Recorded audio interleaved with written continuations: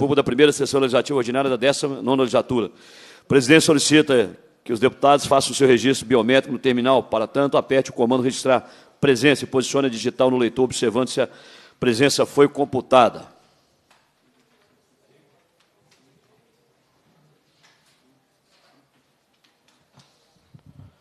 Presidência dos termos do parágrafo 1 do artigo 132 do Regimento Interno dispensa a leitura da ata da reunião anterior. Considera por aprovado e solicita a sua subscrição.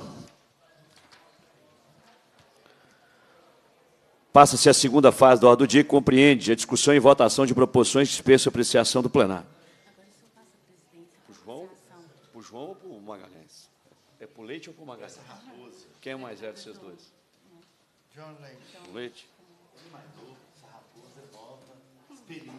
A presidência passa a presidência dos trabalhos ao deputado João Leite, considerando requerimentos de minha autoria.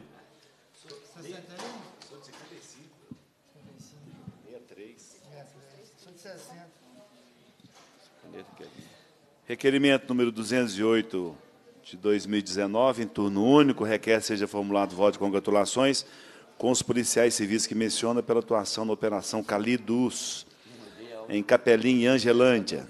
Requerimento 211 de 2019, turno único, requer seja formulado voto de congratulações com os policiais civis que menciona pela atuação na ocorrência em Ribeirão das Neves, em 28 de 2 de 2019. Requerimento 212 de 2019, requer seja formulado voto de congratulações com os policiais militares que menciona pela atuação em Ubá, no dia 1 de março de 2019, resultou na prisão de duas pessoas na apreensão de drogas e de materiais utilizados para o seu condicionamento. Todos os três de autoria do deputado Sargento Rodrigues em votação os requerimentos, cada um por sua vez. Senhores deputados que os aprovam permaneçam como se encontram, estão aprovados.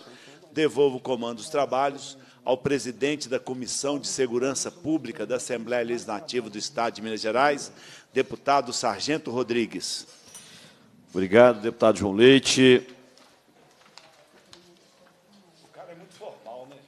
Requerimento 215 de 2009, turno único, requer que seja encaminhada à Secretaria de Obras e Infraestrutura de Belo Horizonte a pedido de providência para que seja feita manutenção de postes e a troca de lâmpadas queimadas na Avenida dos Andradas, próximos ao Paleste. Requerimento do deputado Bruno Engler. Em votação, requerimento, senhores deputados, com a própria permanência com cinco anos. Aprovado. Passa-se a terceira fase da ordem do dia, que compreende o recebimento, a discussão e a votação de proposições dessa comissão.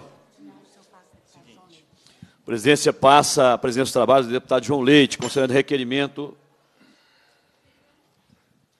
Tem a palavra, Vossa Excelência. Primeiro requerimento, deputado que subscreve aqui a de Vossa Excelência, seja realizada audiência pública para debater a Lei 23.049, que dispõe sobre o porte de arma de fogo para os agentes de segurança prisional e social educativo, especialmente quanto à previsão constante no seu artigo 2 quanto à emissão de carteiras de identidade funcional. Assim, diante do exposto, conto com o apoio dos pares na aprovação do requerimento. Senhor presidente, é, os agentes penitenciários continuam com o mesmo problema da gestão anterior. Nós aprovamos a lei e o governo patina para emitir uma carteira funcional. Assim, é coisa absurda. Eu estive semana passada em agenda com o coronel, com o general, é, o general secretário de Segurança Pública, general Mário Araújo, fiz o apelo mas tem hora que é, é preciso que a gente chame aqui o responsável pela pasta para que ele possa ouvir, inclusive, o clamor dos próprios servidores.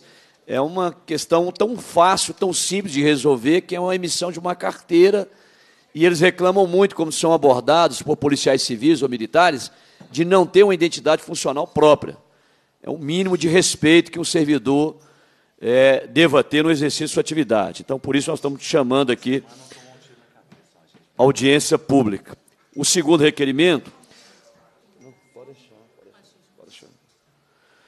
O segundo requerimento, deputado que subscreve, requer de Vossa Excelência seja realizada audiência pública para debater os problemas enfrentados pelos servidores do sistema prisional mineiro, notadamente a ocorrência de assédio moral, imposição de escala de serviços desumana, falta de efetivo, ausência de política de valorização a ocorrência de demissões sem observância de critérios lógicos e objetivos, além da necessária criação de normas que regulamentem os postos de comando, dando plena exclusividade aos servidores da carreira com comprovada competência para os assumirem. nos termos da solicitação do senhor Ronan Rodrigues da Silva, presidente da Unimasp. É preciso dar a devida atenção aos servidores do sistema prisional mineiro.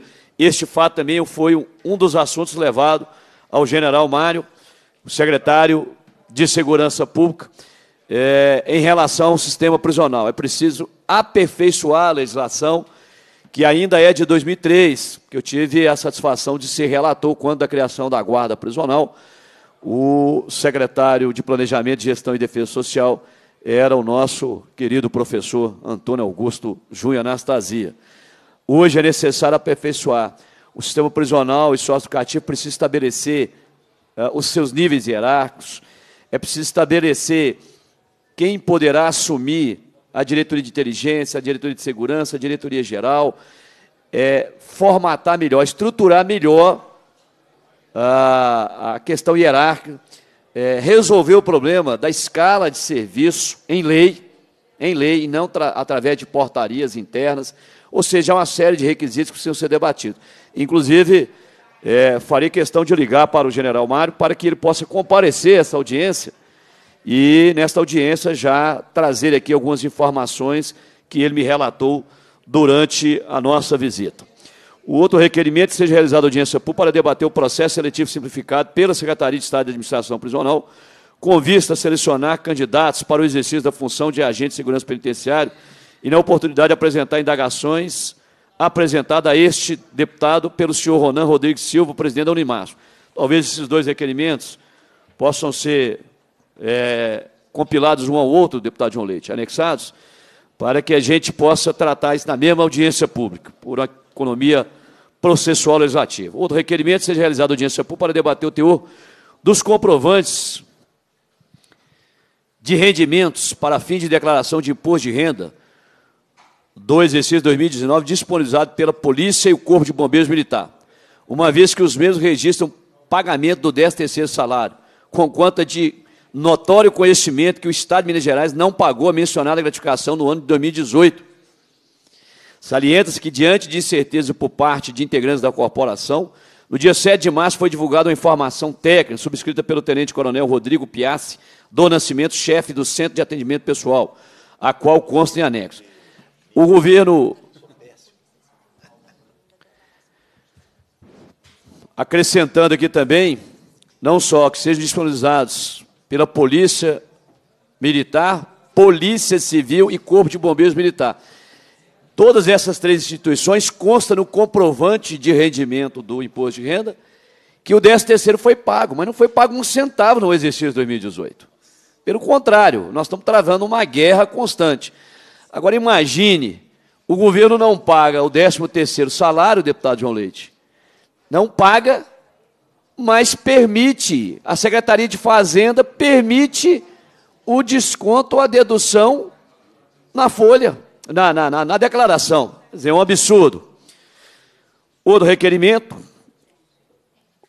o deputado que subscreve requer de Vossa Excelência, nos termos regimentais, seja realizada visita às bases móveis do 33º e 66º batalhões da Polícia Militar sediados em Betim para verificar em loco as condições de trabalho dos policiais militares. Conforme informações encaminhadas a ex-deputados, estariam os servidores exercendo suas atividades sob uma temperatura próxima de 45 graus, sem acesso a água e sanitários. Assim, diante da gravidade do exposto, conta com apoio de espaço. Essa é uma visita, deputado João Leite. Os policiais estão sendo colocados nas bases móveis. Muitas vezes não tem internet, muitas vezes o efetivo coloca em risco a vida dos policiais, falta local adequado para ir ao banheiro, para fazer uma alimentação, não há condição. Então não é apenas colocar, manda para lá, enfia os policiais numa base, sem que eles também tenham condições mínimas de segurança para exercer suas atividades. Outro requerimento que seja encaminhado voto de congratulações com Spencer dos Santos Ferreira Júnior, promotor de justiça, pelo ajuizamento de ação civil pública, número constante aqui no requerimento, em desfavor do Estado de Minas Gerais, objetivando a adoção de medidas para designação e manutenção de profissionais de carreira da Polícia Civil em número suficiente para atender o município de Betim. Essa ação civil pública, desdobramento de uma audiência pública da Comissão de Segurança Pública, a requerimento do ex-deputado Ivaí Nogueira. Então, o promotor, vendo a lacuna de efetivo, diante dos inúmeros inquéritos e homicídios ocorrendo na cidade de Betim sem apuração, é, elaborou uma ação civil pública. Aqui eu quero fazer uma congratulação, voto de congratulações à iniciativa do promotor de justiça. Também outro requerimento seja realizada audiência pública para debater o anúncio do governador Romeu Zema quanto ao cancelamento do contrato com a empresa TBI Segurança, responsável pela vigilância dos prédios vinculados à Secretaria de Estado da Educação, especialmente quanto ao seu impacto negativo na política de segurança pública, notadamente no que, se, no que respeita aos estudantes e docentes, bem como o patrimônio público das escolas estaduais. Salienta-se que o atual efetivo da Polícia Militar é deficitário. São 12 mil policiais militares a menos. A lei de efetivo prevê 51 mil policiais militares e hoje nós temos apenas 39 mil na ativa. Logo, a manutenção do contrato com a referida empresa é imprescindível para a garantia da segurança das pessoas e do patrimônio público investido na educação. Assim, diante do exposto, conto com o apoio dos pares.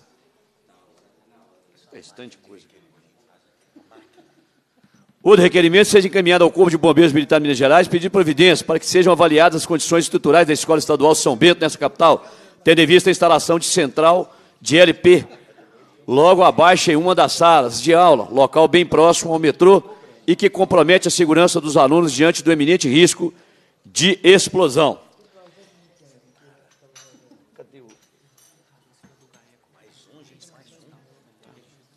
Já reescreveu outro? Requerimento. Outro requerimento, deputado João Leite, conforme as notas taquigráficas, deputado Léo Portela, é, que veio a público, publicada pelo Jornal Tempo e todos os meios, principalmente os grupos de WhatsApp, ligado à área de segurança pública, deu ampla publicidade da fala envolvendo o delegado Cláudio Uti em negociatas para é, esquentar documentação de veículos chamado veículo. Como é que fala? Não. Veículo baixado por, ou sinistrado. Dentre várias denúncias constam. Tomei a iniciativa, deputado Léo Portela, de pedir à gerência de taquigrafia que fizesse a transcrição do áudio, e aqui fala quanto que está sendo cobrado, ora fala em 2.500, 5 mil reais, com toda a transcrição feita pela gerente de taquigrafia. Uma denúncia gravíssima e que requer a apuração não só da corregedoria, mas também a, o GAECO, né, a promotoria. Então, o requerimento constante no seguinte termo: os deputados que subscreve requer a Vossa Excelência os termos regimentais seja encaminhado à Polícia Civil de Minas Gerais, em Belo Horizonte, e ao Grupo de Atuação Especial de Combate ao Crime Organizado, o GAECO, do Ministério Público, em Belo Horizonte, pedido de providência para que, por meio de procedimentos próprios a serem instaurados nas instituições, sejam apuradas imediatamente as graves condutas perpetradas pelo delegado Cláudio Útil, que estava lotado na coordenação de operações policiais, o COP, conforme áudios amplamente divulgados na mídia, inclusive em reportagem publicada pelo jornal Tempo. Requer ainda que seja que, se possível, seja o referido delegado afastado das suas funções de polícia judiciária e que seja posto em disponibilidade ante a gravidade dos fatos. Requer ainda sejam enviadas as notas taquigráficas elaboradas pela Gerência Federal de Taquigrafia e a publicação da Assembleia Legislativa contendo as degravações dos citados autos. Este é o outro requerimento, senhor presidente.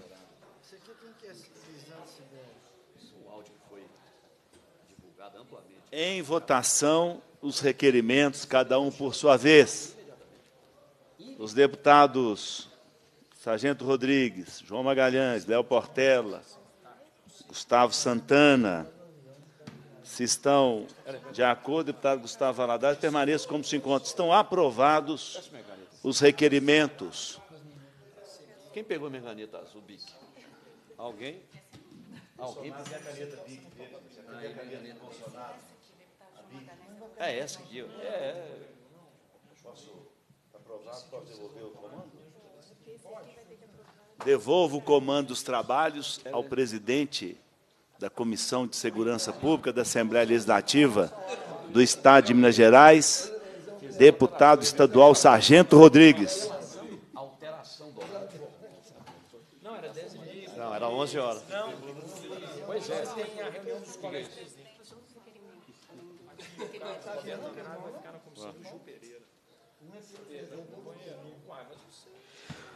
Presidência da continuidade da terceira fase, um seguinte requerimento. Deputada Beatriz Cerqueira, A deputada que subscreve que a de Vossa Excelência dos regimentais seja encaminhada ao governador do Estado, em Belo Horizonte, pedir providência para indicação de uma delegada de polícia para a Delegacia de Mulheres no município de Passo. Pede João Leite, o Léo Portela e o João Magalhães para assinar. É. Em votação, requerimento. Senhores deputados com a própria permanecem como cinco anos. Aprovado. Requerimento do deputado Dalmo Ribeiro Silva, presidente da Comissão de Constituição e Justiça. O deputado subscreve requer de Vossa Excelência termos regimentais. Seja formulado voto de congratulações com os policiais militares pelo excelente trabalho desempenhado na ocorrência de roubo a veículo ocorrido no dia 25 de 2 de 2019, no município de Cambuí, Estiva, ocasião em que foi realizada a prisão das pessoas envolvidas e recuperado o veículo. Em votação, requerimento. Senhores deputados com a própria permanência com 50 aprovado. Requerimento do deputado Carlos Henrique, deputado que subscreve requer de Vossa Excelência termos seja formulada manifestação de protesto contra o governador Romeu Zema pela retirada dos seguranças das escolas estaduais no âmbito do Estado de Minas Gerais.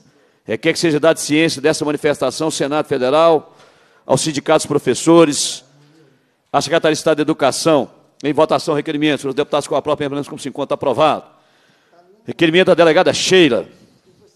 Deputado que subscreve requer de Vossa Excelência ter regimentais seja disponibilizado um canal anônimo para que os cidadãos mineiros possam fazer denúncia referente às barragens. A presidência vai deixar de receber o, o requerimento da deputada Sheila e solicita a assessoria da comissão que encaminhe o requerimento à Comissão Parlamentar de Inquérito, a CPI da tragédia da Vale. Orienta um 81 aí. Por quê? Vai. Já foi aprovado. O João Leite já aprovou esse requerimento. Assine aqui. Rodrigues. Orienta a, a sessão 81, se tiver denúncia de barragem até Camila. acertar isso. Hã? Só que a minha nas notas está aqui gráficas. Orienta a denúncia para o 81 se barragem tiver. Ah, é. Os bombeiros que atuam imediatamente. 193, 181. Vamos fazer um outro requerimento para que seja encaminhado à presidência, presidência da, da Assembleia, solicitando a disponibilidade do Assembleia, é. uhum. Faz oralmente, depois a gente reduz a termos, sargento.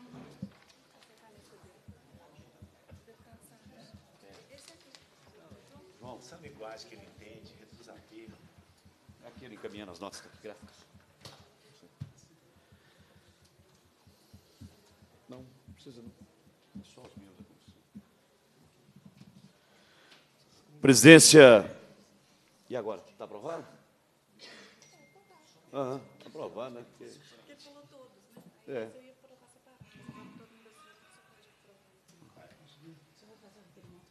Tá. João, João Magalhães, só um requerimento aqui. Ah.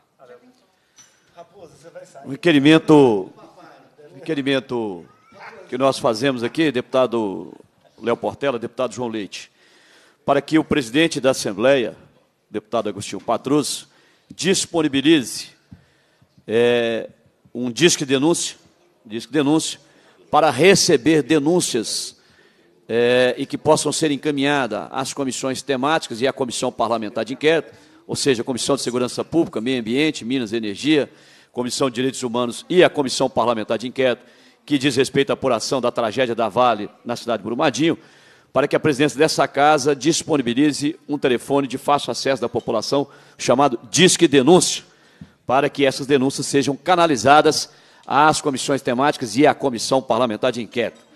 Peço, Vossa Excelência, que assine o requerimento junto com este deputado. Em votação, requerimento, senhores deputados com a prova permaneçam com cinco anos. Aprovado.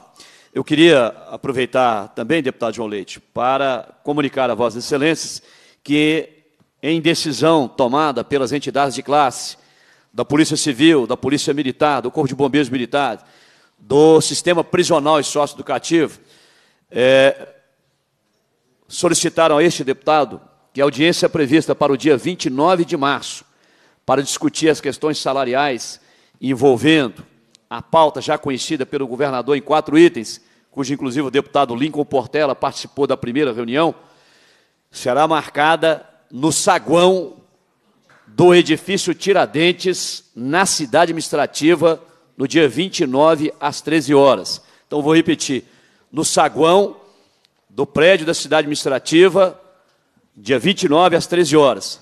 A presidência solicita a assessoria que comunique por escrito imediatamente a todos os integrantes da Comissão de Segurança Pública, imediatamente o comunicado dessa presidência com relação.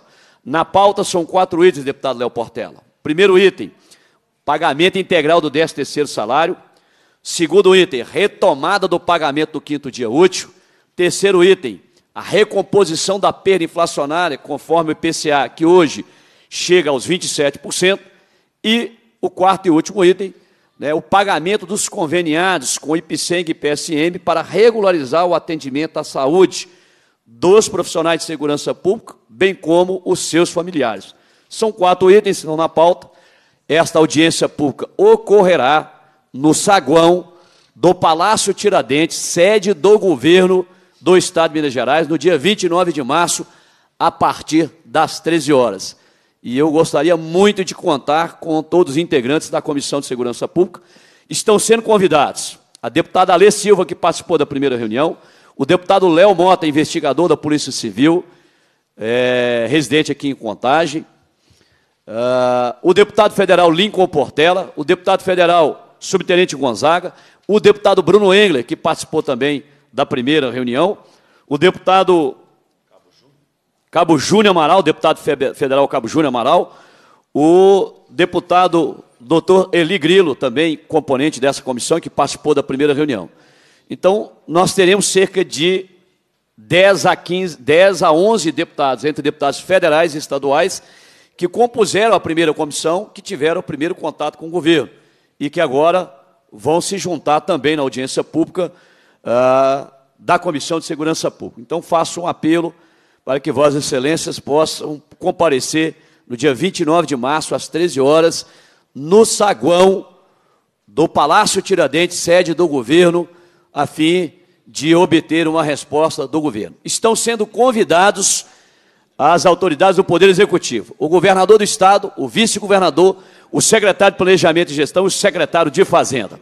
Indago a Vossas Excelências se desejam fazer uso da palavra neste momento. Não? Posso ir embora para a CPI? Pois é, eu tenho que ir lá na CPI agora, tenho que votar lá. Posso ir? Cumprida a finalidade da reunião, a presidência agradece a presença dos parlamentares e convoca os membros para a próxima reunião ordinária, determina a lavatura da ata e encerra os